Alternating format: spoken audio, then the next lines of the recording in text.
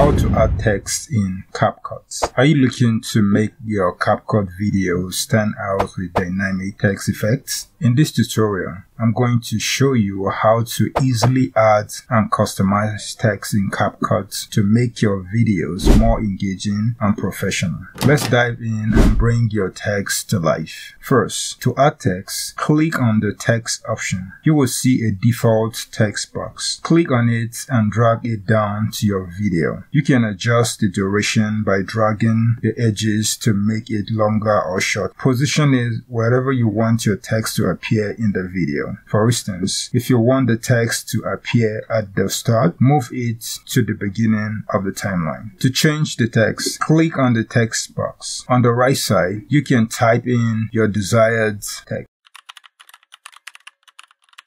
You can also change the fonts by clicking on fonts. CapCut offers a wide variety of fonts for you to choose from. Scroll through the options and select the one you like. To adjust the font size, drag the slider to the right to make it bigger or to the left to make it smaller. You can also reposition the text by clicking and dragging it to the desired location in your video. You can further customize your text by making it bold, underlined, or italicized. Change the color of your text to any color you want or use the preset colors provided by CapCut. You can also add a stroke to your text, change the thickness and add a background. Adjust background color, roundness, height. For additional effects, you can add a glow or a shadow to your text. Adjust the glow intensity, range, and color or create a drop down